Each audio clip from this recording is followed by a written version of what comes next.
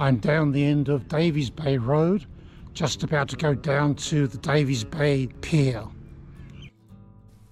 And that's what he thinks. Let's see what happens. Here are the steps down to the pier.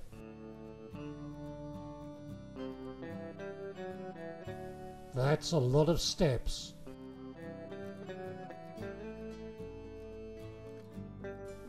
Still going down.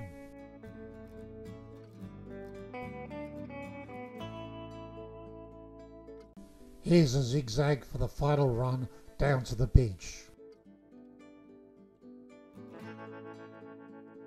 So here's the beach with just a solitary beach fisherman on it, but where's the pier? Let's ask him. He was very friendly, but denied any knowledge of a pier. But he did say that the yacht club was on the other side of the point.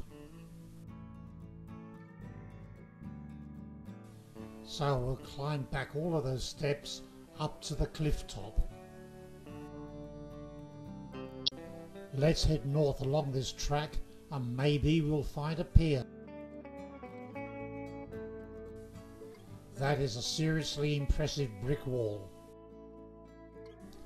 Aha, I see a pier. That's more like it. Let's go down and take a look.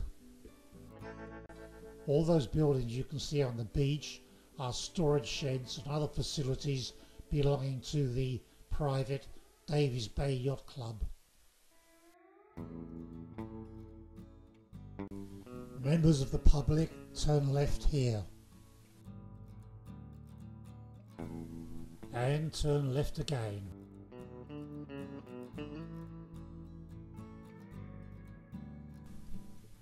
This shed is part of the yacht club.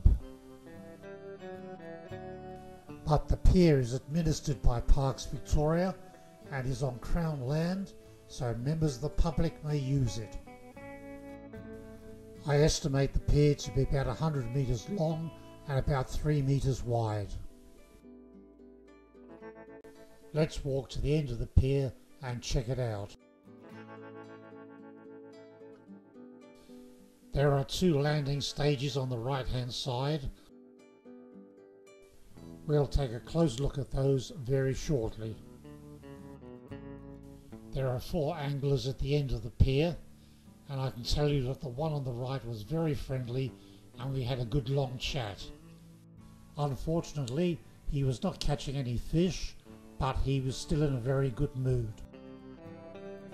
They're enjoying a lovely, fine Friday morning. Question is, why aren't they at work? All those buildings you can see on the beach, they all belong to the private yacht club. Let's take a closer look at the landing stage. It has a galvanized metal grid floor through which you can see the clear waters of the bay below. You can see why the yacht club is located here. It is sheltered by the point from the prevailing winds across Port Phillip Bay. Here's another view of the pier from the other side. It's time to say goodbye to the pier and take the steps up to the cliff top. If you're enjoying this video, why not give me a like and subscribe to the channel. It doesn't cost you anything. A special entrance for Yacht Club members only. Have you ever been to Davey's Bay Pier? If so, leave me a comment and tell us all about your experience there. And here comes that wall again.